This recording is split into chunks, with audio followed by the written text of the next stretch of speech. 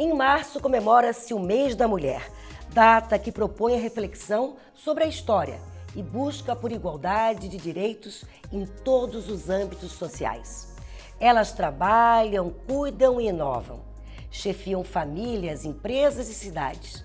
Elas aprendem, ensinam e pesquisam. Elas geram vidas, conhecimento e soluções. E por serem tão diversas, jamais caberiam apenas em uma data. Empoderar mulheres que fazem a diferença para outras mulheres é fortalecer não só elas, mas a toda a sociedade. Neste programa, convidamos duas deputadas estaduais, uma em cada bloco, numa série de entrevistas onde conversaremos com nossas representantes na Alesc. Fique com a gente.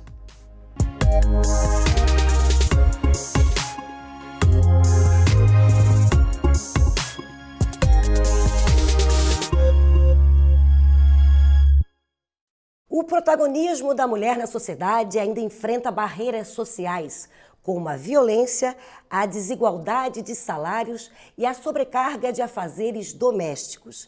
Mas o engajamento de nossas deputadas tem sido relevante para que as mulheres sejam respeitadas e tenham os mesmos direitos que os homens. Seja bem-vinda, deputada Marlene Fengler. Tudo bem? Olá, tudo bem? Tudo ótimo. É um prazer é, conversar com você. O prazer é nosso, deputada. Parece inacreditável, né, tratar de violência contra as mulheres depois de tantos anos de luta pela igualdade de gênero. Por que ainda há tantos casos de feminicídios? Olha, essa é uma pergunta que, na verdade, é muito difícil e não tem uma resposta específica. Mas eu acredito que tem muito a ver com Primeiro, a questão cultural. E as, as mudanças culturais, elas não acontecem de uma hora para outra, né? Elas são uma construção é, de muitas pessoas e de muito tempo. Então, acho que é, isso, isso é uma das questões relevantes.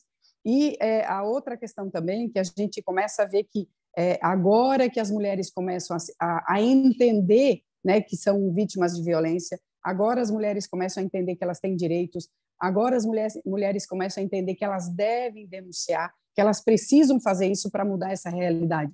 Então, acho que é, já foi muito pior e as pessoas tratavam, né, os, os números, inclusive, eram tratados como, é, é, como, como assassinatos, enfim, comuns, e não feminicídio. Então, acho que é, isso é a grande diferença também. Não é que havia menos ou mais, mas é que antes não, não havia, primeiro, a denúncia e também não havia essa, é, não se tinha uma consolidação desses dados e uma tipi, tipificação desse crime, né, que é que, que fez toda a diferença, né? Então acho que é, é, tem muito a, a, ser feito ainda e a, e a presença de mulheres aqui na Assembleia e nos espaços de poder ela é fundamental para se construir políticas públicas para isso, né, para mudar essa realidade, para denunciar essa realidade e exigir é, mudanças do, da, da parte do poder público. Essa é a segunda pergunta exatamente sobre isso, né? Temos que também educar nossas crianças dentro de casa e na escola, para que esse problema social mude de uma vez por todas, né? Dizem que a presença feminina em vários setores da sociedade gera mais empatia, mais resiliência, mais flexibilidade. A senhora concorda, então, né? Não, com certeza. Eu acho que é, humaniza os espaços, principalmente os espaços de poder a gente convivendo aqui, né, inclusive, nós somos hoje seis mulheres no universo de 40 parlamentares. Né? Os espaços de poder, na minha opinião, deveriam ser sempre um espelho da sociedade. Então, se nós temos 50% de mulheres na sociedade, mais de 50%, e temos aqui só 15%, alguma coisa está errada. Se tivéssemos pelo menos 50%, e aí deixar bem claro, não é porque um é melhor do que o outro, mas é porque a gente se complementa, eu tenho certeza que nós teríamos espaços mais humanizados, nós teríamos é, políticas públicas mais abrangentes, não só para né, é, é, para as mulheres e, e né, especificamente, mas também para os negros, para a comunidade LGBTQIA+, enfim, toda a sociedade. E eu acho que quando eu faço, quando eu penso nisso como uma uma figura ou como uma foto, para mim isso é muito claro. Se nós temos é, é, espaços representativos, eles têm que representar a todos. E a gente olha para a nossa Assembleia aqui, por exemplo, não estão todos representados, né? Mas isso também é uma construção, isso também não muda de um dia para o outro. E aí a gente também tem uma outra, já entra numa outra questão também, que as mulheres também precisam querer participar. as mulheres também precisam estar dispostas a pagar o preço para participar. É uma, né, não tem uma resposta simples para essas questões, mas acima de tudo, na minha opinião, é nós entendermos que as mudanças acontecem se nós fizermos a nossa parte. Se nós queremos universos mais femininos ou mais sensíveis, mais inclusivos, nós temos que fazer a nossa parte. E a nossa parte é participar. É isso aí, mas isso já está acontecendo, né? Nessa legislatura, o maior número de mulheres. Uh, deputada, pandemia de Covid-19, mudanças climáticas, direitos humanos, igualdade de gênero, guerra. Você imaginaria que em pleno século XXI estaríamos vivendo momentos tão difíceis? Que loucura, né? É, ontem eu pensava, eu, eu conversava com meu filho sobre isso. Meu filho tem 13 anos e é, né, hoje em dia essa geração é muito antenada, muito ligada, e a gente conversava sobre a guerra, conversava também sobre os efeitos da pandemia, e, e, e eu dizia para ele, meu Deus, nunca na minha vida eu imaginei que eu ainda fosse ver né, uma guerra na Europa, né, uma guerra é, é, é tão próxima, né, e que a gente é, é, vê que, que, que aquilo que a, que a gente achava que estava enterrado no passado não está e que e a gente começa a não entender mais o ser humano, né? É, quando se, se imaginava que a pandemia, né, que atingiu a todos de igual forma, ricos, pobres, todo mundo, né, é, transformasse a sociedade ou servisse para mudar, nos tornar mais humanos, nos tornar mais sensíveis, nos tornar mais empáticos, acontece o contrário. Então, realmente, é muito difícil entender, é muito difícil é, é, é, né, entender o que está acontecendo com a humanidade. Eu acho que a gente vive, na verdade, é uma crise de humanidade, né, do ser humano como um todo, né, como do mundo como um todo, né. Então, acho que mais do que nunca, para mim, o que o que isso me mostra é que nós precisamos cada vez mais fazer a nossa parte, fazer o que está ao nosso alcance, sermos mais humanos, mais empáticos, ajudar o próximo, pensar no coletivo, mas isso tem que partir de nós, né, enquanto cidadãos, enquanto seres humanos. Não adianta a gente ficar cobrando que os outros façam. Né? No dia a dia a gente tem que fazer isso. Se cada um tiver essa responsabilidade, essa consciência, eu tenho. E se nós tivermos também é, a nossa gera, essa geração que nós estamos criando, se nós colocarmos isso na cabeça e no coração dessa geração, eu tenho certeza que para frente as coisas vão mudar. Porque hoje, honestamente, eu não consigo enxergar muito uma mudança muito grande é, é, de imediato, pelo menos. Mas eu acredito muito na geração futura e na nossa responsabilidade em promover essa mudança. É, é difícil explicar isso para as crianças, né?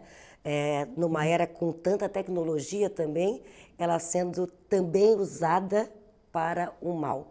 A deputada, a senhora é presidente da Escola do Legislativo, né?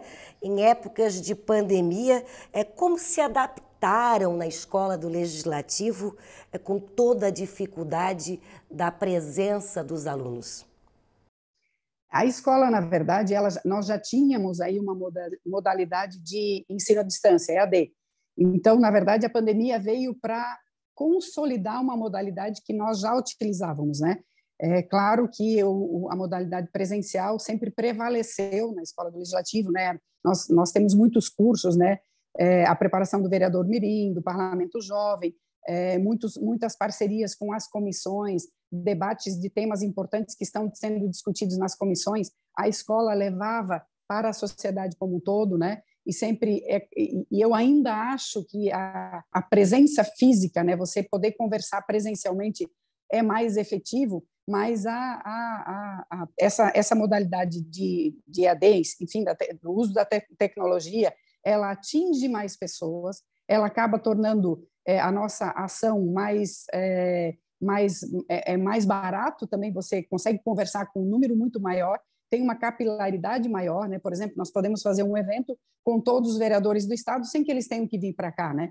Nós podemos conversar com alunos de todas as escolas do estado de Santa Catarina sem que tenhamos que ir a todas as regiões. Ou então podemos fazer ações regionais né? Toda, todas elas feitas daqui. Então eu diria que consolidou o que nós já estávamos fazendo, e não só na escola, né, aqui na Assembleia também. Acho que hoje nós conseguimos fazer, por exemplo, uma reunião de uma comissão, é, trazer um especialista que teria um custo para trazer, que teria, né, teria um dispêndio de tempo, enfim, e que hoje você é, coloca ele para falar ali 15 minutinhos e, e resolve o problema. Então, acho que a gente tem, tem, tem que é, é, aproveitar né, essa, essa, esse momento, essa transformação que a pandemia trouxe na, né, na, na questão da tecnologia para tornar mais acessível, né, tornar os, a escola do legislativo especificamente mais acessível a mais pessoas e de uma forma mais barata.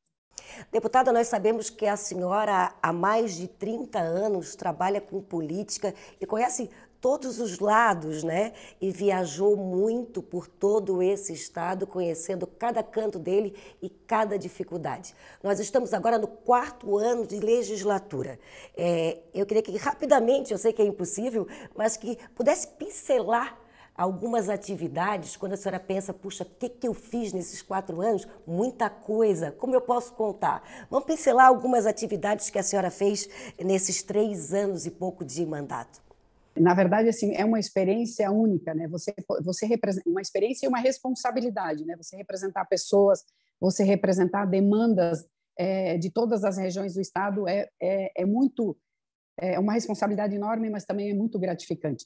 Eu diria que tem algumas, uma, algumas ações que me, que me, é, me dão uma alegria muito grande de, de ter feito. E a primeira delas, ou ter feito parte, a primeira delas foi sugerir a criação da bancada do Oeste. É, eu tive uma votação expressiva na região Oeste, de onde eu sou, né, a minha origem, mas também aqui na Grande Florianópolis. Então, a gente acaba fazendo ações para o estado todo, né, como é, por exemplo, a questão da, da infraestrutura, que não é uma não é uma questão de uma região ou de outra, é de todas as regiões, e é uma das minhas bandeiras, e eu brigo muito para o Estado, é, junto ao governo do Estado, para mais investimentos para infraestrutura, mas a bancada do Oeste foi uma, um requerimento de minha autoria para a criação, e hoje nós somos 15 deputados dos mais diversos partidos que é, consolidamos uma bancada e mostramos que, ainda que nós tenhamos diferenças é, ideológicas, de projetos ou de visão é, do mundo, enfim, é, nós podemos trabalhar juntos, nós podemos trabalhar e o resultado é muito mais efetivo. Se nós hoje temos programas importantes e no estado de Santa Catarina e principalmente no oeste, por exemplo, para a questão da seca, né, agora para pensar na questão pontual agora, mas também para pensar é, em soluções para o futuro, é, foi graças à, à, bancada do Oeste que conseguiu colocar dentro do orçamento do Estado é, 300 milhões de reais para para fazer, para criar um programa chamado Pro Solo e Água, que vai que vai cuidar das nascentes para as futuras gerações, né? Que vai dar, cuidar da questão é, é, nesse momento, mas muito mais pensando para frente. Se a produção aumenta, como é que a gente vai contrapor isso com a necessidade de água, né? Então, como é que se faz isso? É tendo um programa é, que, que, que pensa isso a, a, médio e a longo prazo. Da mesma forma, a infraestrutura da região oeste, como é que se faz para que toda a produção do, do, nosso, do nosso oeste, que vem para cá e que vai para o Brasil inteiro, que vai para o mundo inteiro, como é que se transporta isso se a nossa infraestrutura está muito deficiente? Né? Então, são, são questões que são é, macro, elas não são de um deputado, elas não são de um município, elas são de todos. E a solução tem que ser encontrada e construída com todos junto ao governo do Estado. Então, para mim, é um orgulho muito grande fazer parte, ter sugerido e ter colegas que entenderam a importância do trabalho conjunto. Acho que isso é muito importante. A outra questão também, é claro, com relação às mulheres, eu, eu é, aprovei no início desse ano o projeto, uma lei de minha autoria, que é a Lei 18322, que é, consolida toda a legislação que trata da é, dos direitos das mulheres. Então, hoje, se uma mulher quiser saber quais são os seus direitos, quais são as leis que existem no Estado, ela não precisa ficar procurando é, por tema ou um monte de leis que já é difícil você conseguir acessar. Ela vai lá, procura a lei 18.322, de janeiro de 2022, e essa lei vai, vai, vai ter aí todos os, consolidado todos os direitos num único espaço né, que as mulheres têm direito.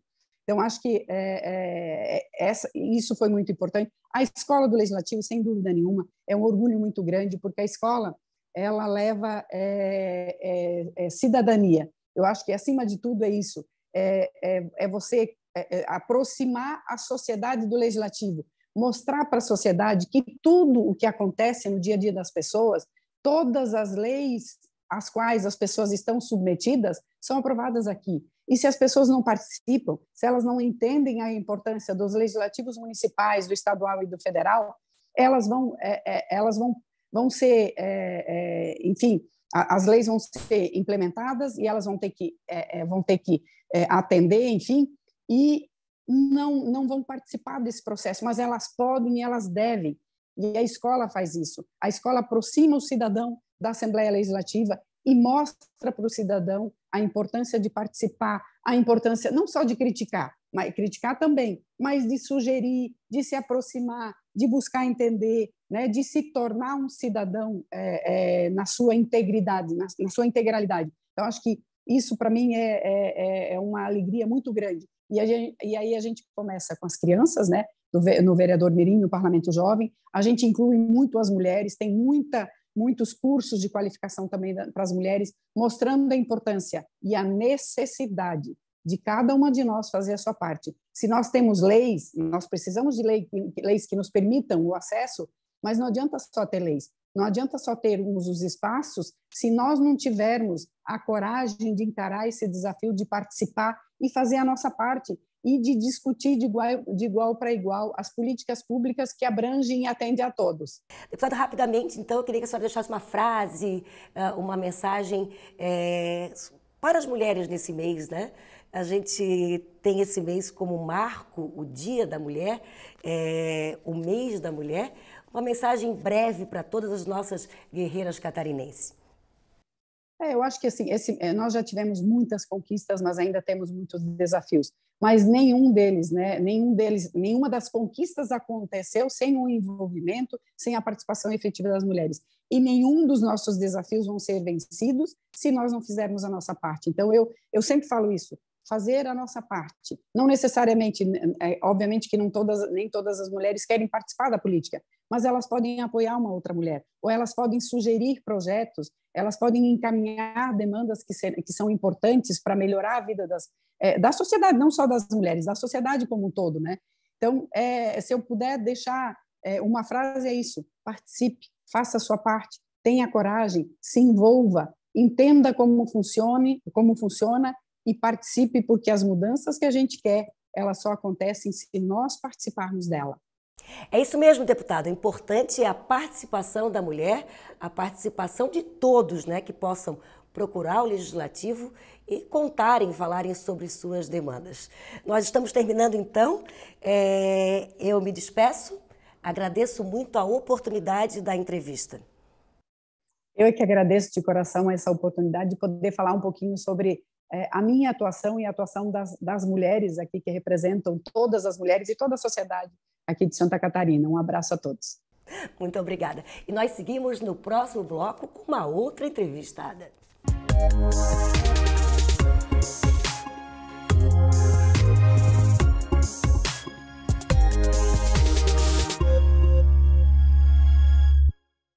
O mês da mulher é a ocasião para celebrar os avanços da mulher na sociedade na política e na economia. Época também para aumentar a conscientização em relação à contínua desigualdade de gênero. Nossa convidada do segundo bloco faz um trabalho intenso para combater as injustiças e desigualdades que recaem sobre as mulheres. Faz também um trabalho relevante em defesa da educação, da saúde, da agricultura e ao oeste do nosso estado, região que dá muito por Santa Catarina. Conversaremos agora com Luciane Carminati. Seja bem-vinda, deputada, tudo bem? Olá, quero cumprimentá-la, Isabela. Muito bom estar contigo novamente. Já deixar um abraço para a nossa deputada Marlene também, que fez o primeiro bloco. É isso aí, mulheres fortes que estão celebrando o mês da mulher. É difícil comemorar numa época de guerra, pandemia, mudanças climáticas, direitos humanos, é difícil comemorar o mês da mulher e a igualdade de gênero? É difícil, sobretudo que no meio de uma guerra nós temos um parlamentar que fala as atrocidades que falou das mulheres ucranianas que estão lutando pelo direito à vida, né?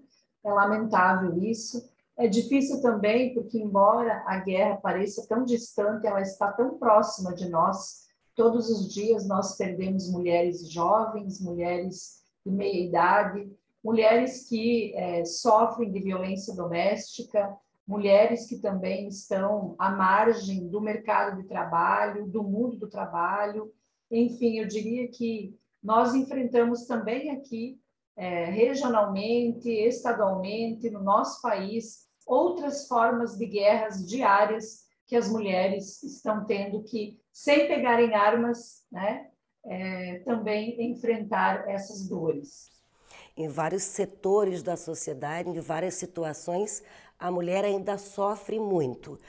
Teve uma vitória né, da, das deputadas, dos deputados, que foi a criação há um ano do Observatório da Violência contra a Mulher. Está fazendo aniversário também e foi uma luta grande de muitos anos e hoje ele existe. A senhora pode falar um pouquinho sobre o observatório e como as mulheres podem ter acesso a ele? Sim, muito importante esse destaque. No dia 31 agora de março, nós completamos um ano do observatório, que é uma lei de 2015, mas que nunca saiu do papel nós temos uh, o que, que é o observatório para que as pessoas compreendam. Todos podem de casa acessar o observatório. Nós temos um site que é ovm.alesc.sc.gov.br. Neste site nós temos todas as informações no que se refere à violência contra a mulher em Santa Catarina. Também aparece o que os municípios estão fazendo ou não fazendo. Isso também é, é, é demonstrado através do site. E também nós garantimos um link para que as mulheres possam fazer denúncia também via o site do observatório e chega lá na Polícia Civil. Esse observatório ele faz parte da estratégia da Lei Maria da Penha. É uma ferramenta, uma ferramenta de integração dos dados. Tanto é que nós estamos há um ano com um comitê que está discutindo que ações também o observatório deve desenvolver, como pesquisas, aprofundamento de dados, né? Esse comitê, para que as pessoas compreendam a grandiosidade do observatório, nós temos governo do Estado, nós temos Assembleia Legislativa, nós temos é, também o Tribunal de Justiça, Ministério Público, é, temos o MP de Contas, temos o Conselho Estadual dos Direitos da Mulher, Defensoria Pública, OAB, Universidade Federal de Santa Catarina e também o apoio da FECAM. Esse comitê está dando a linha, temos uma sala aqui na Assembleia, temos a doutora a delegada Cláudia coordenando e a Josiane nos dados, e é o primeiro observatório eh, no âmbito de assembleias legislativas do país. Então, está servindo também como referência. Que bom ter um canal onde a pessoa tem acesso e chega a todos os lugares que se preocupam é, com a mulher e protegem a mulher. Assim como a deputada Marlene no primeiro bloco, a senhora faz parte da bancada do Oeste, né? Com outros deputados da região é, que trabalham em prol é, da região para todo o estado. É, o Oeste é, foi beneficiado com essa é, junção, deputados pensando por uma causa comum. E a senhora pode também falar o que aconteceu nesse último ano de bom para o Oeste do nosso estado? É, nós somos em 40 deputados no conjunto e a bancada do Oeste é a maior bancada e eu acredito que a que tem maior consistência do ponto de vista da sua organização. São 15 deputados de diferentes partidos. Em cada ano nós temos um coordenador de um partido diferente. Acho que isso é um avanço, porque não ficamos apenas no debate das prioridades de cada parlamentar, porque os problemas do Oeste são históricos, são enormes, demandam de muitos recursos na infraestrutura, na logística, e o Estado de Santa Catarina precisa perceber a dificuldade que é para quem está lá no interior, lá no extremo oeste, na outra ponta do estado, e muitas vezes, é, do ponto de vista produtivo, é, nós temos muita produção, nós equilibramos a balança comercial do Estado, no entanto, os recursos chegam bem depois. Então, eu diria que é, temos avanços em relação às rodovias, temos várias rodovias que estão para iniciar agora as obras, né? Outras em projetos é, fazendo ajustes nas licitações ou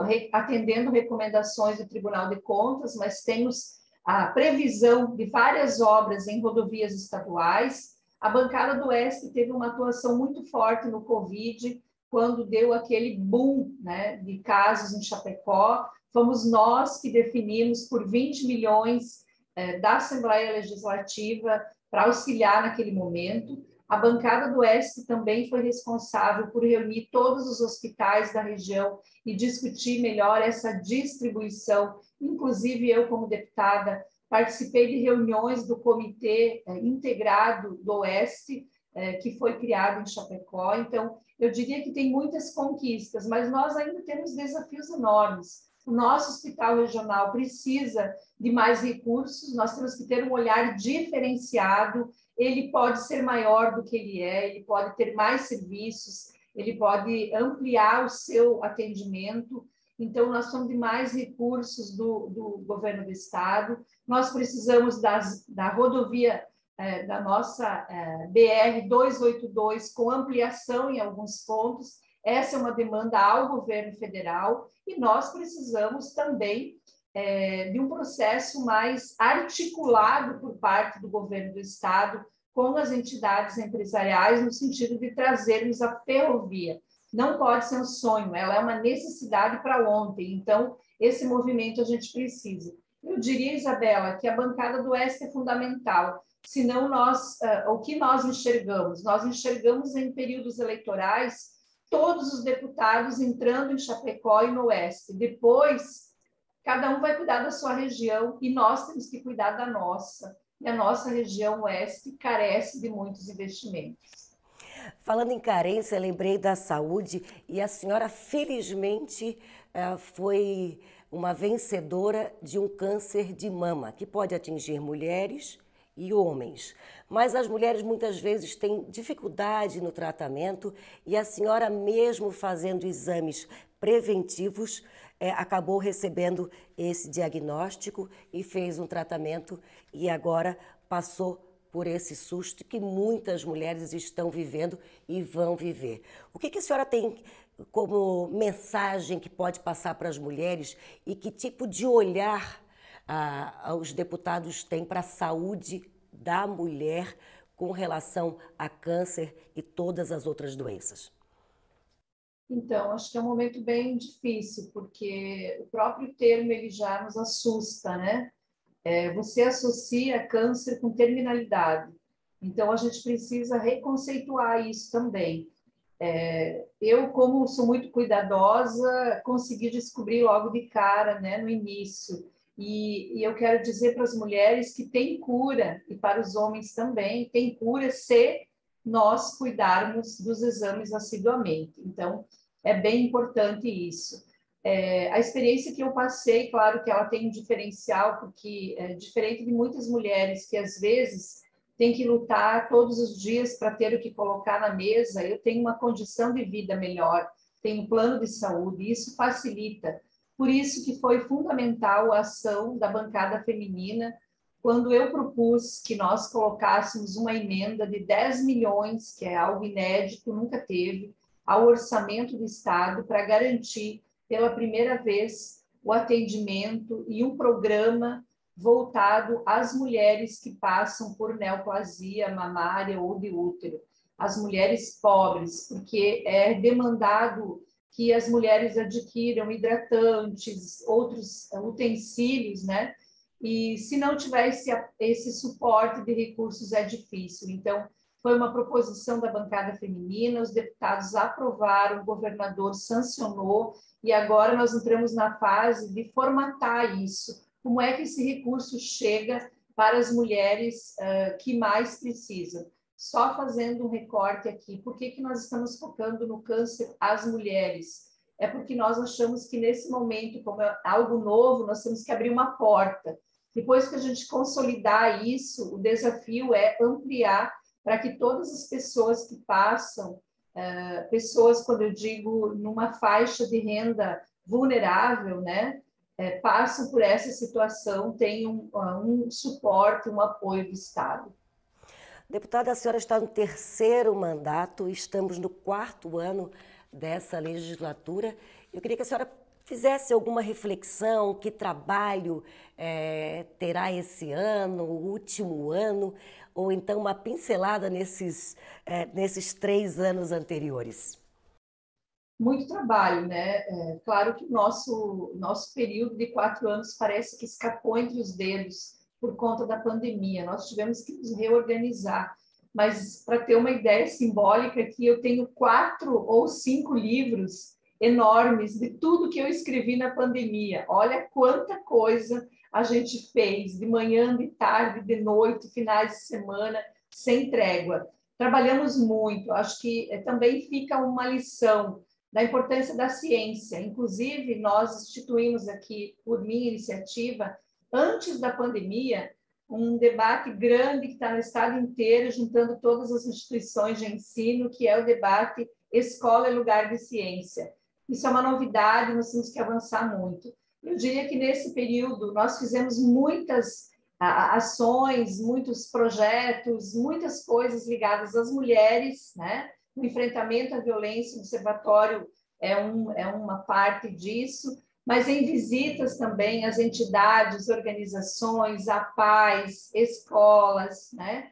É, municípios, é, sempre com esses cuidados da pandemia e discutindo também o plano de carreira do magistério, que foi o ano inteiro, praticamente o ano passado, nos tomou o debate. Então, nós continuamos agora com as pautas que é, é estamos é, construindo né, já de, de longa data, assistência social, fortalecimento da cultura, temos mais recursos para a economia solidária e entramos forte no debate dos ACTs e da educação como um todo. Então, eu diria que temos muita coisa a mostrar e muita coisa a fazer ainda esse ano. Deputada, para encerrarmos, é, eu queria que a senhora deixasse uma mensagem às mulheres, é, esse mês de comemoração e de luta, numa época tão difícil, né, de guerra, de terceiro ano de Covid, de tantas ideias desconexas de tanta ansiedade.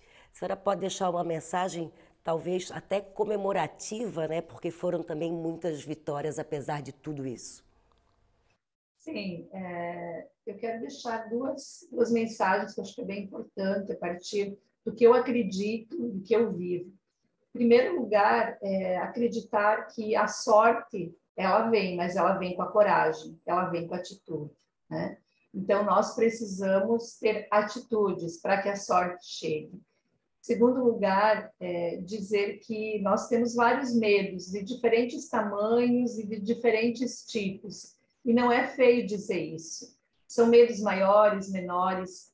A grande questão é nós enfrentarmos os nossos medos. O medo nunca pode ser maior do que a gente, porque ele nos diminui e ele nos faz entristecer os medos precisam ser enfrentados de forma coletiva, solidária, né, com várias, de vários jeitos, mas a gente tem que enfrentar nossos medos. Então, eu deixo um grande abraço a você, Isabela, em nome de todas as mulheres que estão nos acompanhando nesse mês de março, e desejar que este ano seja um ano melhor, né, de esperança e também de uma campanha eleitoral saudável, não agressiva, no diálogo, no debate de ideias. É isso que a gente precisa. Muito obrigada pela entrevista, pela oportunidade. E é isso aí. Vai com medo, mas vai. Muito obrigada.